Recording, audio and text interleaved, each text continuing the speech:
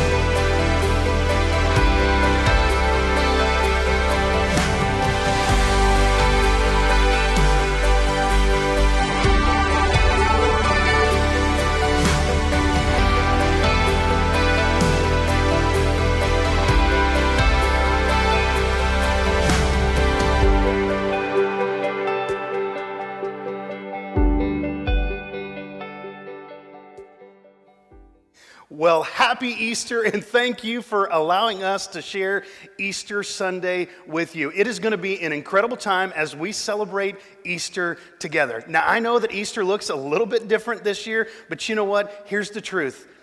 It's still the same. Jesus is risen. And I want to thank you for gathering with us.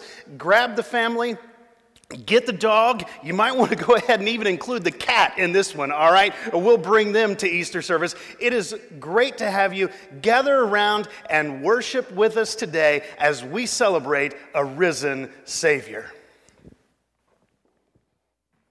Sing with us as you listen to these words and sing these words. It's all about the Easter story this morning. Sing out loud in your living rooms, wherever you are. Let's worship Jesus this morning.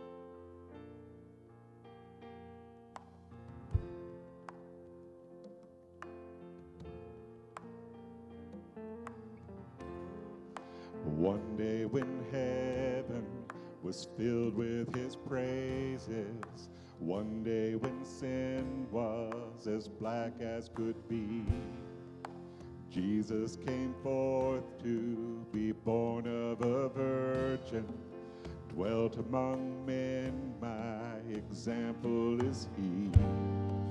The word became flesh and the light shined among us, his glory revealed. Living, he loved me, dying, he saved me, buried, he carried my sin far away. Rising, he justified, freely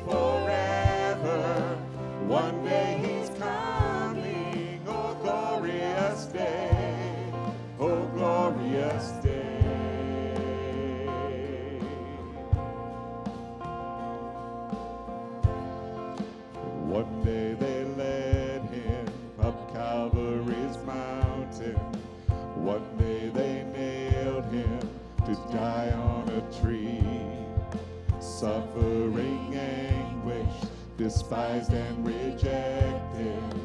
Bearing our sins, my Redeemer is he. The hand that healed nations stretched out on a tree and took the nails for me.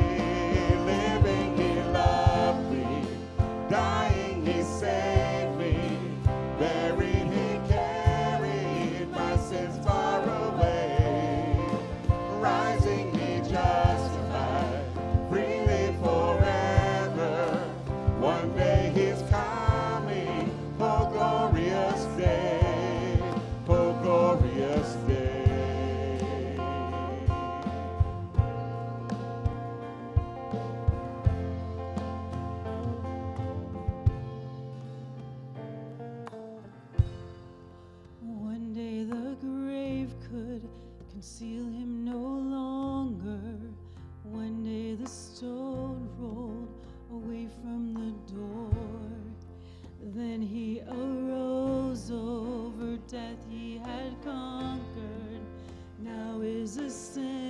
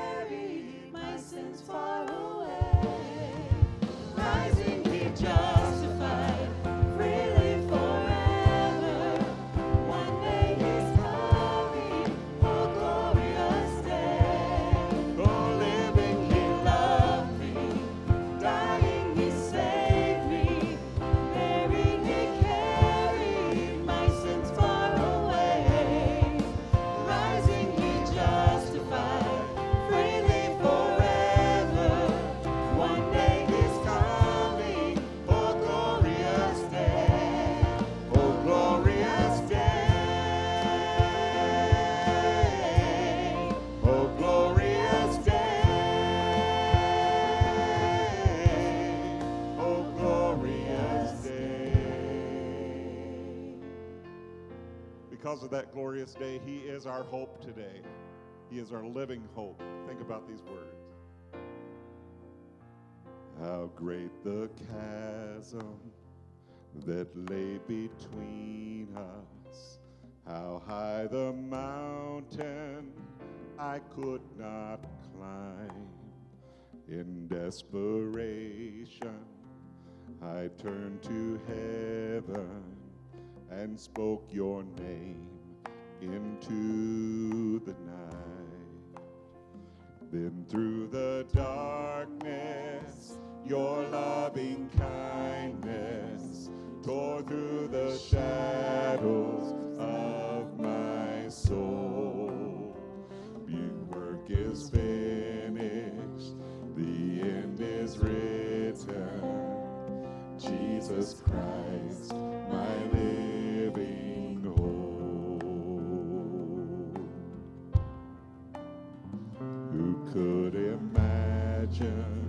so great a mercy? What heart could fathom such boundless grace? The God of ages stepped down from glory to wear my sin and bear my shame. The cross is spoken,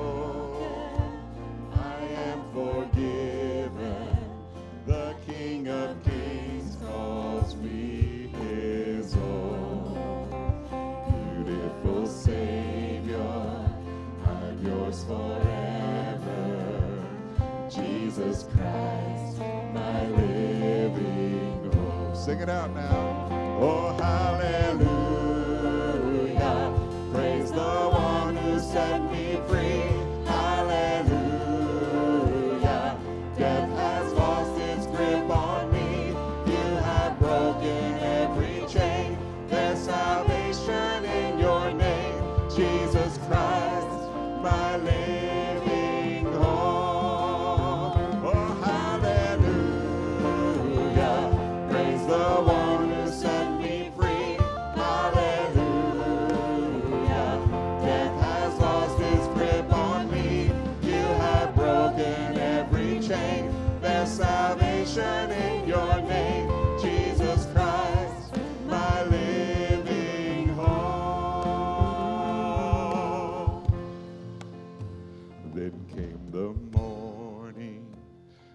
Sealed the promise. Your buried body began to breathe. Out of the silence, the roaring lion declared the grave has no claim on me. Then came the morning that sealed the promise. Your very body began to breathe. Out of the silence, the roaring lion declared the grave has no claim on me. Oh, Jesus, yours is the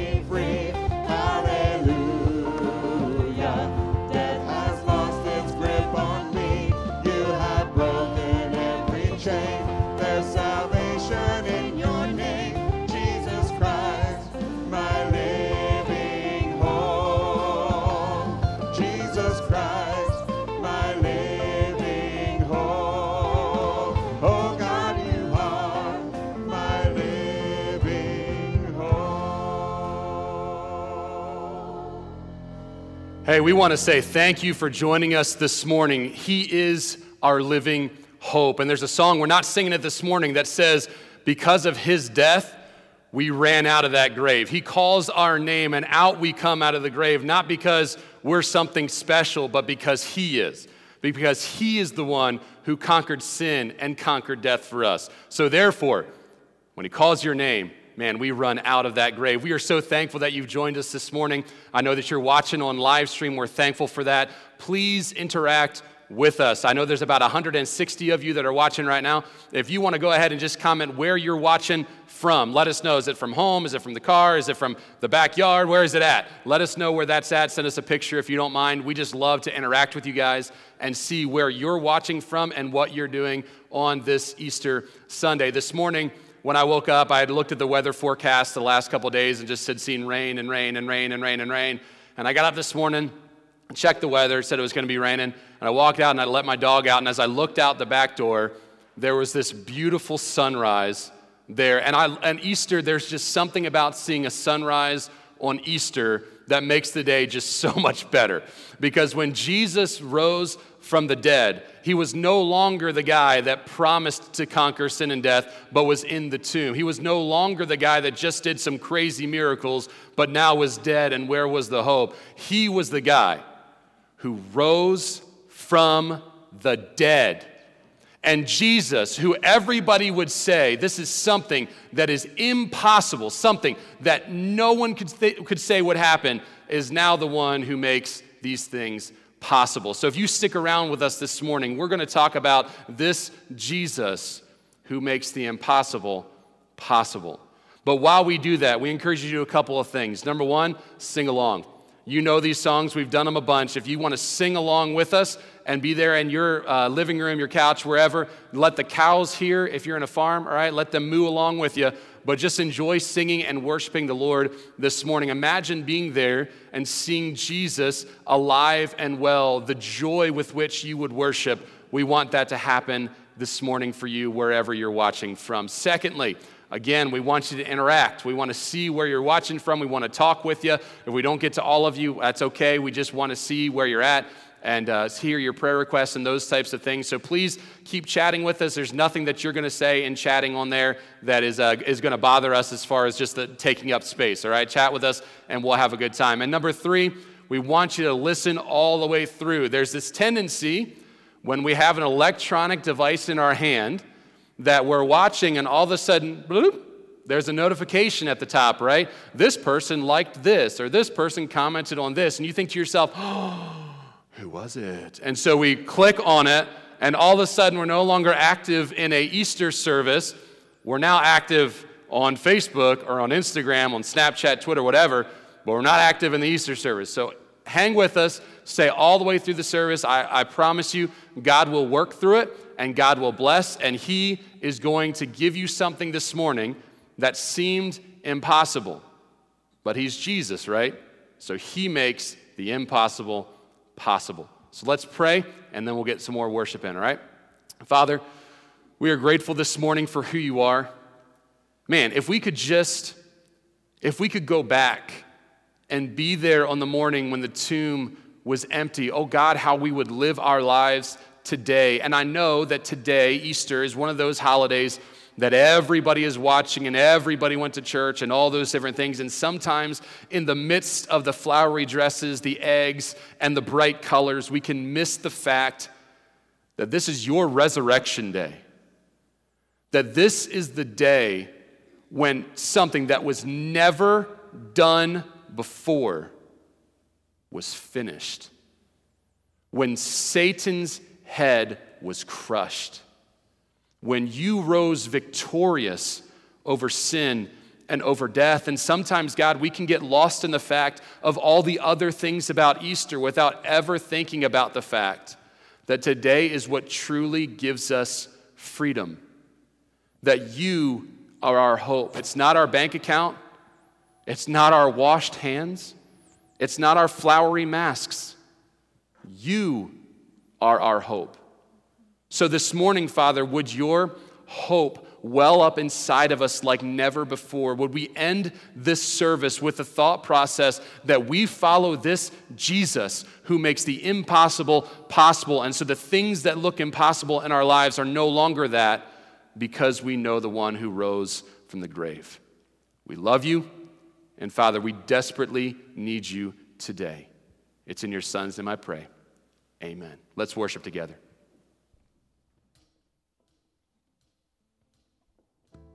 That same power that happened that morning that Jesus rose again is available to us right now, right here. So sing this out from the heart this morning. I can see the waters raging at my feet. I can feel the breath of those surrounding me. I can hear the sound of nations rising up. We will not be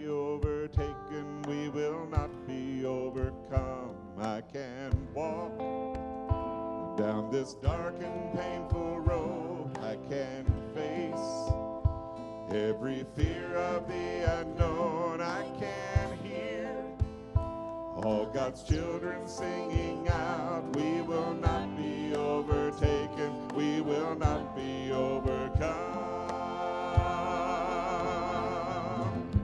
The same power that rose Jesus from the grave, the same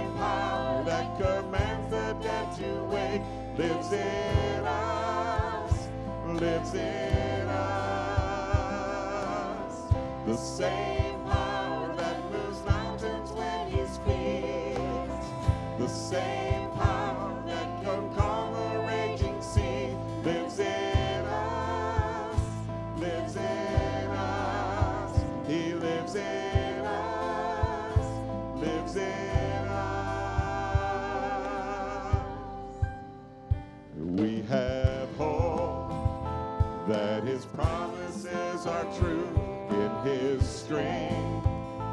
There is nothing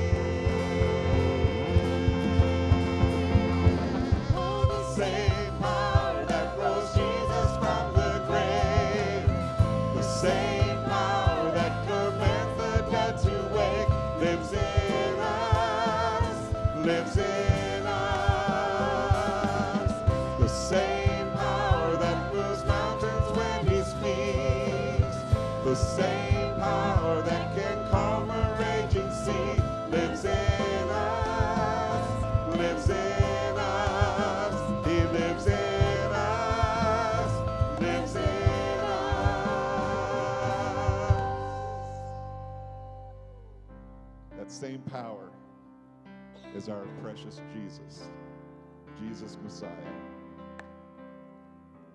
This tells the story in full. He became sin who knew no sin, that we might become his righteousness. He humbled himself and carried the cross. Love so amazing. Love so amazing. Sing it out now. Jesus Messiah, name above all names, blessed Redeemer,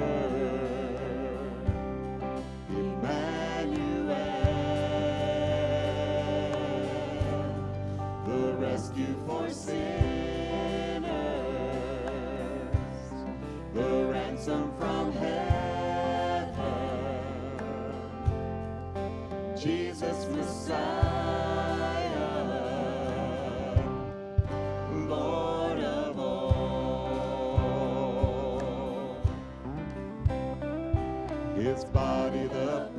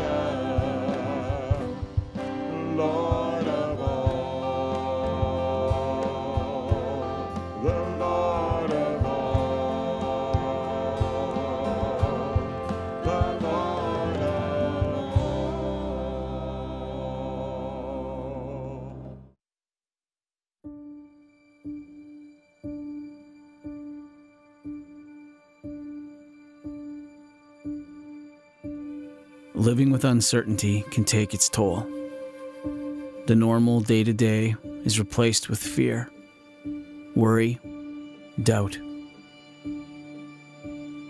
When our normal is disrupted, our surroundings begin to feel weak, foundations begin to rattle, our lives become disoriented. As time goes on, we begin to lose sight of the one constant on our journey Jesus. The fear is consuming, the worry draining, the doubt painful. Even in our darkest moments, when the last thread of hope has unraveled from our being, we must dwell on truth. We must remember no matter what is happening around us, God is still sovereign.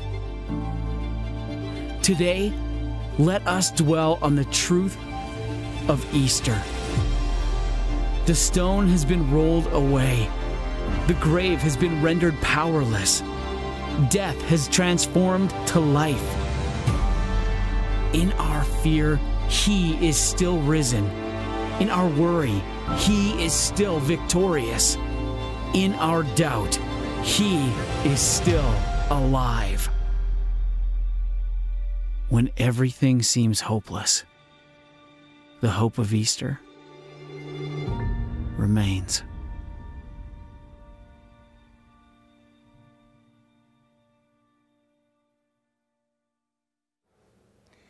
Easter certainly looks a little bit different today. You know, we've got questions in our mind, and there's a lot of things that we don't understand. We're trying to control the chaos that's going on around us, and maybe even trying to control some of that chaos that's going on inside of us. We've got questions that remain unanswered, and we would like to find an answer that would give us hope. You know, honestly, we feel like it's really different today, but I'm not so certain that it's all that different than that first Easter that first resurrection morning.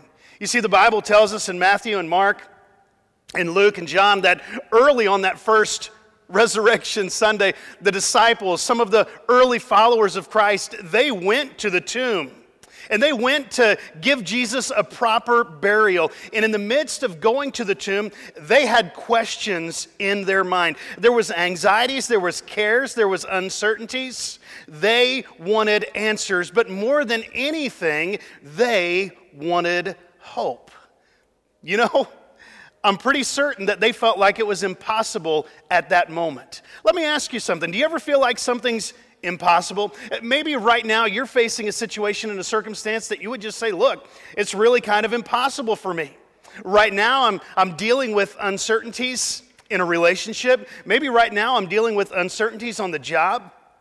I'm dealing with uncertainties with my, my financial pressure. It's just mounting. Being at home, right? It, it's, it's different. We're, we're working from home, we're educating from home. There's a lot of things coming at us all at once. And right now, you're facing some things undoubtedly where you say, look, this is completely impossible. Is hope possible? Is an answer to my lingering question possible? Could I find an answer? Could I find hope? Could I find something that would take away yesterday and give me a better future? Is that possible?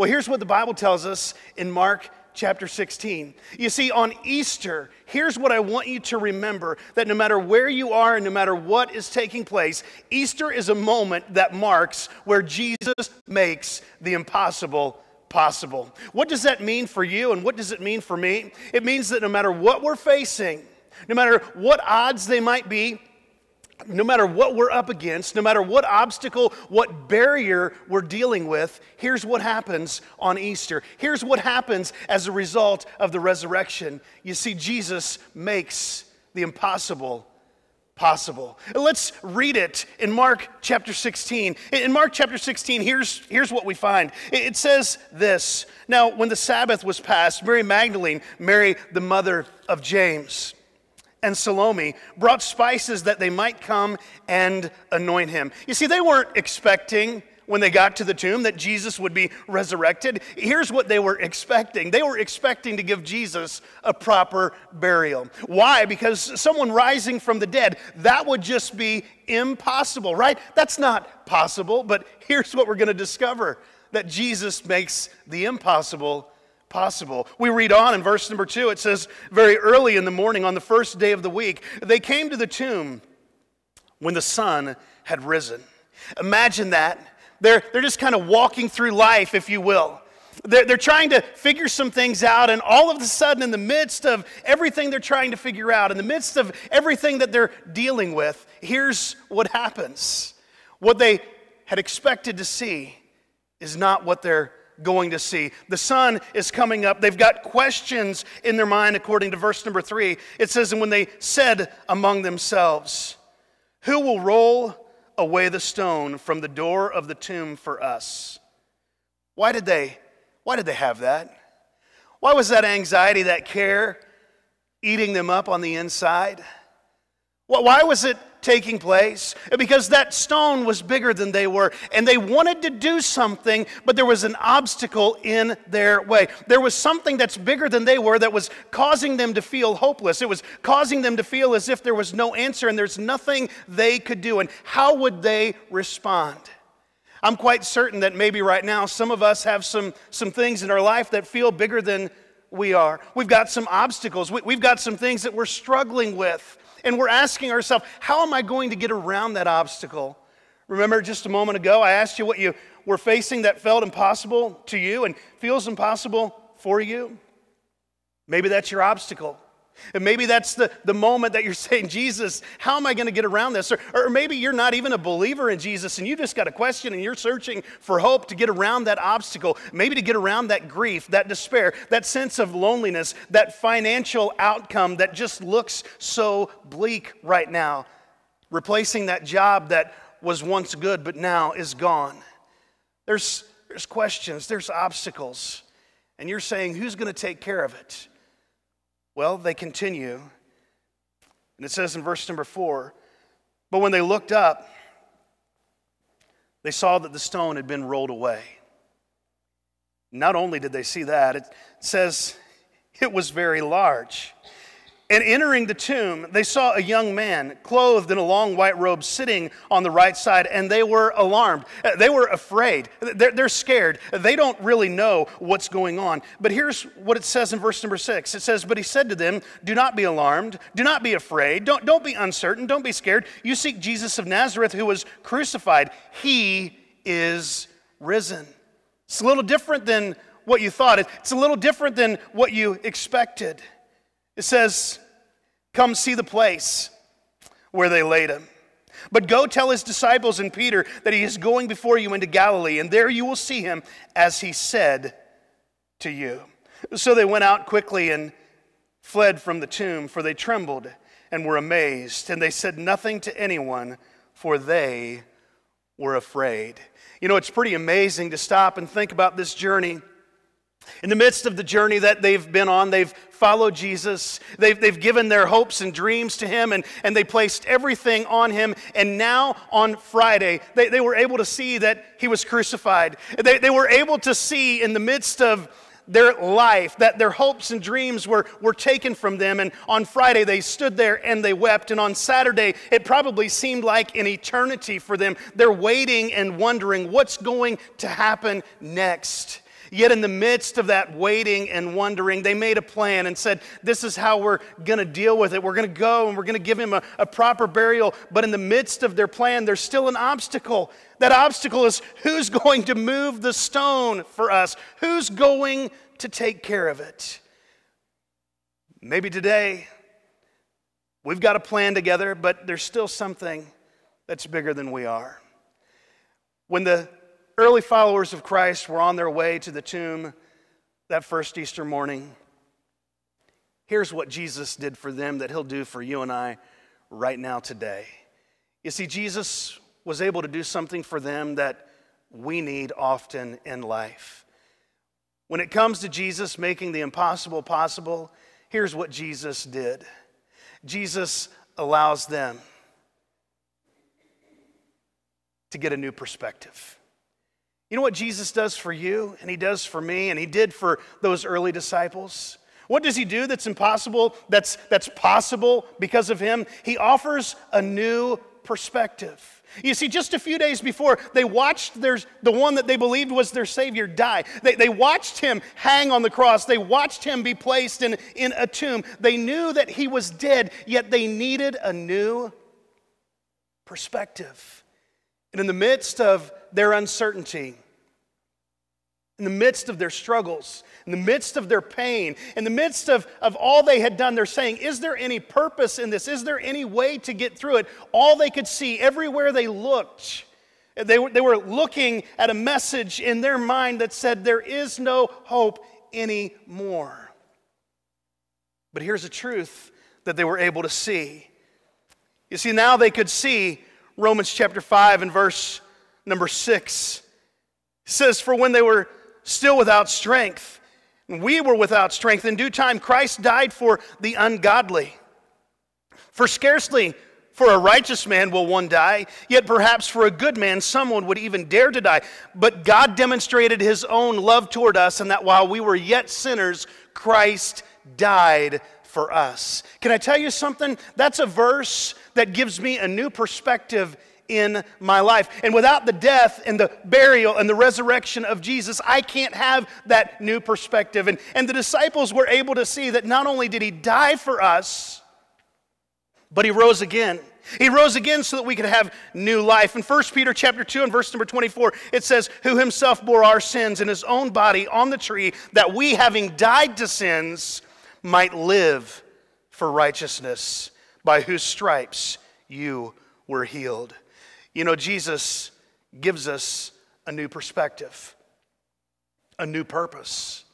His death, his burial, his resurrection. On that day when they walk to the tomb and they're expecting to see the stone there and they're hoping that a Roman soldier or someone would help them and allow them to roll that stone away from the tomb. When they get there, here's what takes place they get a new perspective. You see, sometimes people think that Jesus moved the stone so that he could get out. And the truth is this it's, it's well stated and, and understood as this that Jesus didn't move the stone so that he could get out. He moved the stone so that they could see in, so that you and I could get a new perspective, so that they could get a perspective that our greatest enemy, our greatest struggle in life was overcome.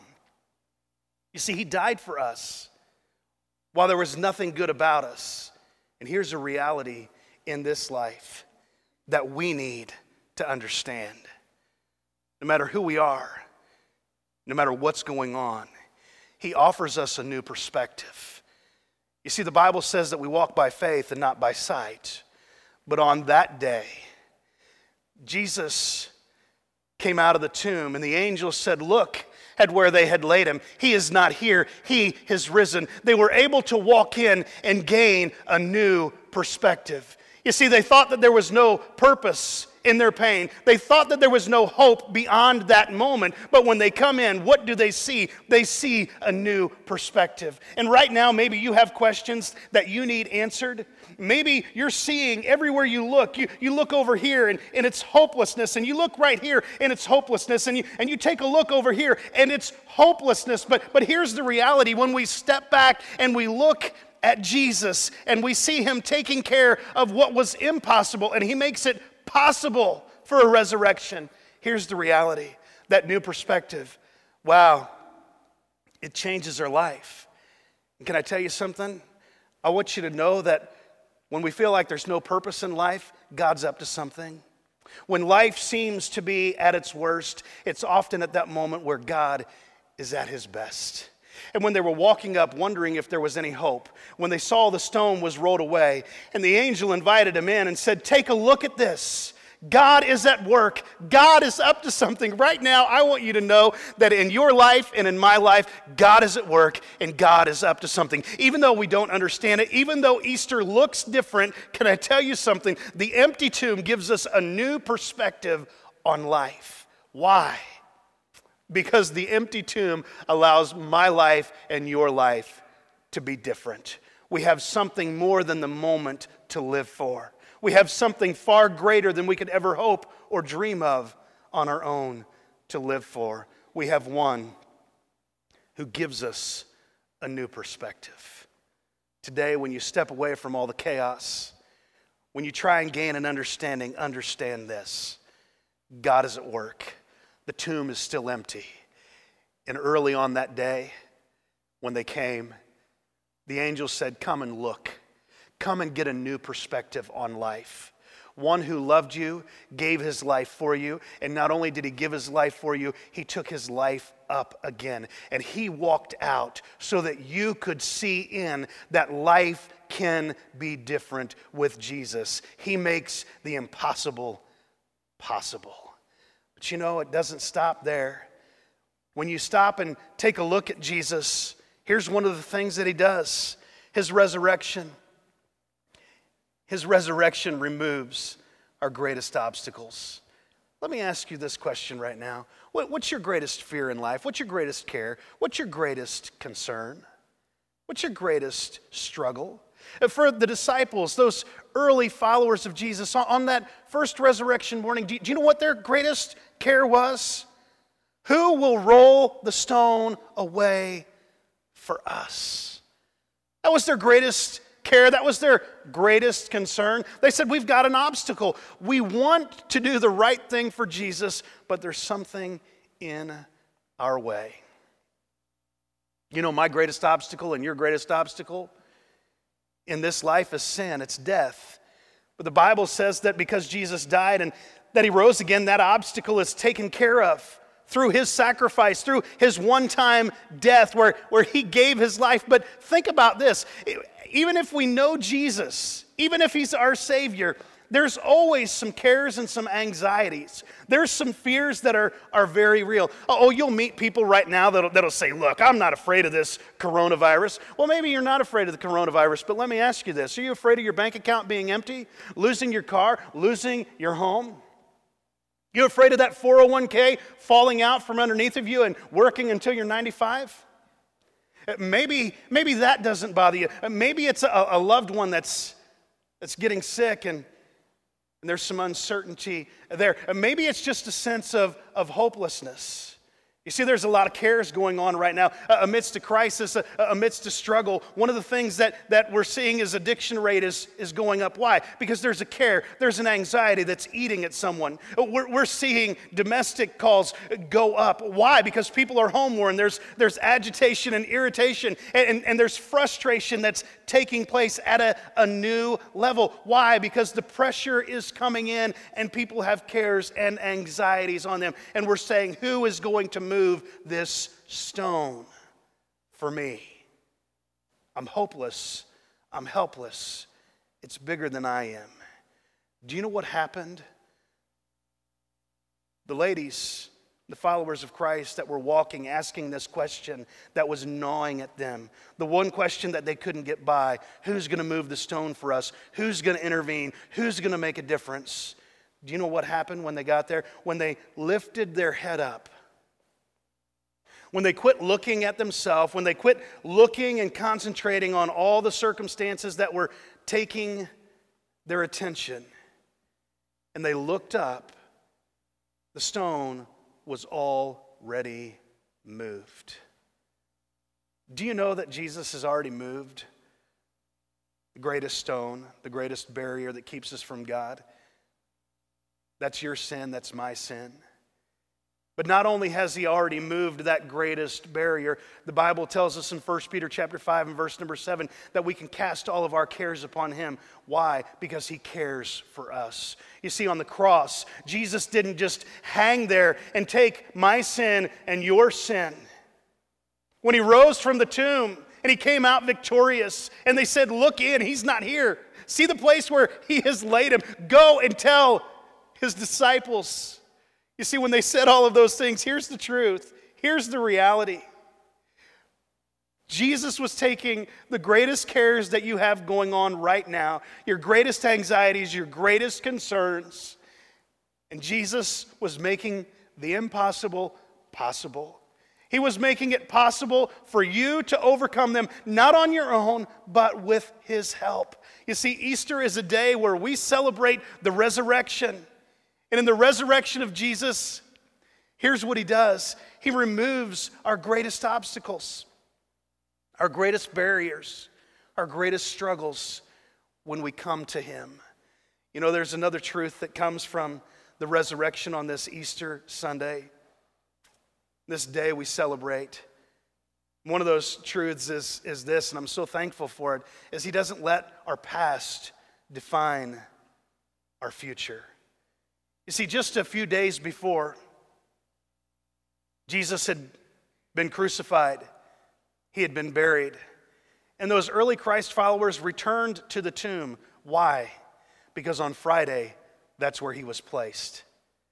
Do you know what we learned from Easter Sunday? That Friday doesn't control Sunday. That your past doesn't have to define your future. And for the disciples in, in Mark chapter 16, they, they come to the tomb. Why? Because that's where Jesus had been laid. They, they came there. Why? Because on Friday, that's what they had experienced.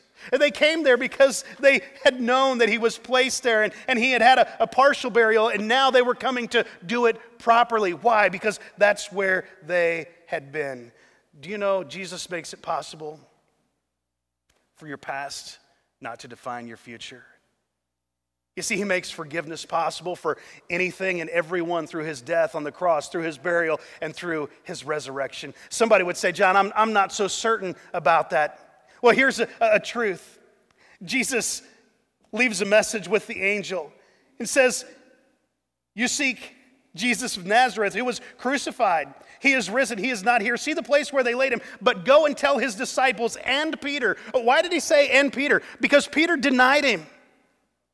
Peter said, Look, Jesus, I'm always going to be with you. And Jesus said, Peter, there's coming a day where you're going to deny me, you're going to betray me, you're going to walk away. But in this passage, we, we see this. Even Peter, who had followed Jesus but denied him, Jesus made sure, hey, I want you to go, and I even want you to tell Peter, and I want you to tell Peter that he is invited. Why? Because Peter is forgiven. In John chapter 21, we see a conversation in verse number 15. It flows down through verse number 19, and Jesus looks at Peter and he says, Peter, do you love me? P- Peter, are you interested in loving me? Do, do you love me? And Peter says, Yes, I love you. And Jesus says, Feed my lambs. He asks him again, and Peter says, Yes, you know I love you. They have this back and forth conversation. In the midst of a back and forth conversation, here's what happens in that conversation. Jesus said, Peter, if you love me, then I want you to follow me. Do you know what Jesus was doing? Jesus was telling Peter, All is forgiven. Some of us today question our past and we wonder if God could forgive us, if God truly loves us. A few moments ago, I shared a verse from Romans chapter 5. And it just simply sums up this way While we were still sinners, Christ died for us. When there was nothing good about us, He died for us. He's not concerned about your past, He's concerned about your future, and He has something for you. You see, we're looking for hope. And sometimes we go to our past and we think because of our past and our experience that there is no hope. But here's the reality there is hope for you because Jesus makes the impossible possible. And some of you have been taught that because of your past, maybe God doesn't love you. Or maybe you're, you're, a Christian, you're a follower of Christ, but you've got some things in your past, and, and you think because of some sins and mistakes and some failures along the way that God couldn't use you and God doesn't love you, and maybe He doesn't have a, a plan for you. But here's the reality Jesus makes the impossible possible. Your past doesn't define your future. Here's what defines your future your relationship with Him, His power to overcome death, hell, and the grave, His power to walk out of the grave on that third day. You see, that defines your future. That means with Jesus, your future has no limits. Today, I want to encourage you to look past your past because Jesus has already taken care of it. If you'll come to Him, if you have come to Him, He has an incredible future for you. Tucked away in this passage is this truth that in the darkest of times, He offers a message of hope. He offers a message of hope in the darkest of times. You see, for the disciples, they had just witnessed his death, they had just witnessed his burial, and it seemed like there couldn't be hope to be found anywhere. And when they go, they're asking the question Is there hope? Who's going to move the stone? Who's going to take care of this? Who's going to take care of that? How can we go forward from here? And all of a sudden, when they look up, it's taken care of. Their worries are taken care of. They go and they find out look, he was laid here, but now he's not anymore. He's taken care of it. Don't keep going back to the past because it's not there anymore. It's taken care of, it's removed. But he said this He's not here, he's risen. Go and tell. Go and tell his disciples and Peter. Do you know what I've discovered? People need a message of hope. People need a message of hope 24 7, 365. But right now, more than ever, people need a message of hope that tells us in the midst of the corona crisis, Jesus makes the impossible possible, that we can get through it. He lets us know that while science is at work and while doctors are working overtime and people on the front lines are there doing incredible things and we need to pray for them and we need to support them, he tells us this truth that as good as they are and as much as being accomplished ultimately for the individual, no matter who we are, our hope lies in Christ. And people need that message of hope. They need to know that life can be better than it is right now. And maybe today you're a follower of Jesus and you need to share that message of hope with others. Can you imagine being the one that left the grave and went and began to tell? The Bible says in this passage they were so afraid that they didn't say anything to anyone until they got back to where some of them are. And people said, What's wrong with you? And they had to drag, them, drag it out of them. You see, sometimes as believers, as someone who might have a little hope, we're, we're afraid to share a little hope with others because, because of what they might say, how they might react. Can, can I tell you something? People need hope. I want to encourage you just to think of a, a few people that need hope that you can share it with. And today, if you don't know Christ, I want you to know that there is hope. There is hope for you. You see, there's a message of hope that's very powerful. But when we look at what Jesus gives us, he tells us this truth that he always keeps his word. He always keeps his word. Think about this for, for just a, a moment. In Mark chapter 16 and verse number 6, the angel says, Do not be alarmed. You seek Jesus of Nazareth who was crucified. He is not here, he is risen. See the place where they laid him, but go and tell his disciples and Peter that he's going before you into Galilee. There you will see him as he said to you. He rolls back the clock and he says, You remember when Jesus told you that the Son of Man must be crucified and buried? And three days later, he'll rise again. You remember that moment when he said that? Here's, here's the truth He always keeps his word. When you stop and, and, and look at our life, it's often impossible for, for you and I to always keep our word. Uh, we, we might try to do that, but, but here's the, the reality promise after promise, all throughout the Bible, here's what you discover God always keeps his word. Time after time, when Jesus said something was going to take place, he always kept his word. And in a moment of our life where we feel like we're dealing with some impossible situations, can I tell you something? Jesus makes it possible because he always keeps his word. He told his disciples, You may not understand it, but I'm going to be crucified, I'm going to be buried, and on the third day, I will rise again. You know what? He did it. Why? Because he always keeps his word. Jesus has said, Cast all your cares upon me. Why? Because I care for you. He says, Come unto me, all who are tired, who are worn out, and I will give you rest. He says, Whoever calls upon me, I will save. You know what? He always keeps his word. And in Hebrews chapter 13, here's what it says it says that he is the same yesterday, today, and forever. He still keeps his word. You see, Jesus, he makes the impossible possible. He makes salvation possible for you.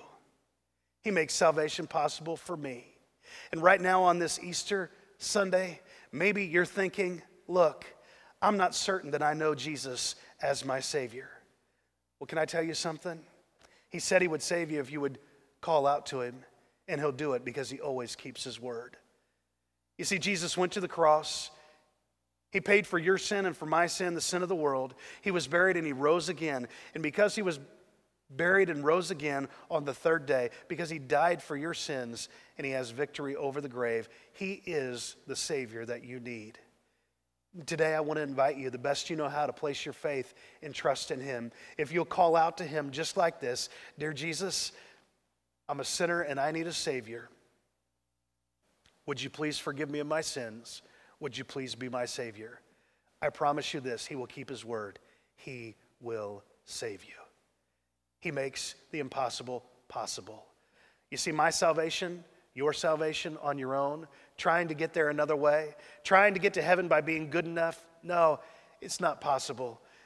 Jesus came and he offered his life for you and for me, and he rose from the grave. And that's what Easter Sunday is all about making the impossible possible. If you'll invite him to be your Savior today, he will do it. I hope that you will. In fact, right now, if you need to invite him to do it, do it. Right now, Jesus, forgive me and please be my Savior. Maybe today you say, John, I've already done that. I've already trusted Jesus as my Savior. Maybe today you need to be reminded that He'll remove your greatest obstacle. You see, whether we know Him as our Savior or not, He'll remove our greatest obstacle. What is your obstacle that you need removed? What is that barrier that's holding you back? That stone that's in place that you can't see past? You see, Jesus moved the stone to give them a new perspective. And if we'll just look at Him, we'll gain a new perspective and know that He can move the stone. And maybe He already has moved the stone. We just need to trust Him in it. Maybe today you're struggling to get past your past. He doesn't let your past define your future. He's got an incredible plan for your life. Would you let Him help you? Would you let Him give you that future? Maybe today you need to share the message of hope with those around you. He told them to go and tell. Today, I would encourage you to tell someone that Jesus is alive, that Jesus is risen. And I would encourage you to remember this that he makes the impossible possible because he always keeps his word. He will be with you. So, today, what's your next step? Through Jesus. It's possible. Whether it's salvation, whether you need to be baptized, whether you need to start reading your Bible, whether it's to start praying, whether it's to start sharing your faith, Jesus makes what we think is impossible possible. Would you turn to Him today? Pray with me, please. Father, we come to you today and we thank you for who you are. We thank you for those who have responded to you, those who have made a commitment to you today in some way. Lord, I pray that you would help us all to know that you do make the impossible possible. And Father, whatever you have for us, help us to know that you keep your word and we can trust you and we can look to you. Father, we thank you for who you are. We thank you for your risen Son and a resurrected Savior. For it's in Christ's name. Amen. Well, I want to thank you for joining us for Easter celebration. And I want you to know that while Easter looks a little different this year, Jesus still makes the impossible possible. Thank you for watching. I want to encourage you to invite some friends and family to watch throughout uh, our times today. And I want to encourage you to join us tomorrow for Monday on Mission. We'll be live tomorrow and, and talking about Monday on Mission. We do that at noon, uh, just a way for us to share our faith throughout the week and the circumstances we face. Come back on Wednesday night for Harmony at Home, uh, and, and we're going to be doing a, a Bible study and just having some conversation about some things in life. And, and we may even have a special guest on Wednesday that'll bring some smiles to your face. I promise you that. Uh, you will love it, but we want to encourage you to be a part of it. I want to thank you for your faithfulness and your generosity. Our church family, the community has been incredible. And uh, this is an excellent time to remember to give online if you're a part of Harmony, or you can mail that in. We thank you for your faithfulness in that area. If you are a part of another church family uh, and you're just watching today, don't feel any pressure to give. In fact, I would encourage you to give to your church and, and, and be a faithful supporter of that ministry as, as God continues to take that forward. An excellent opportunity to demonstrate faithfulness there. Thank you for being a part of Easter at Harmony and join us throughout the week. Come back next Sunday as we continue the series Jesus makes the impossible possible. Have a great Easter.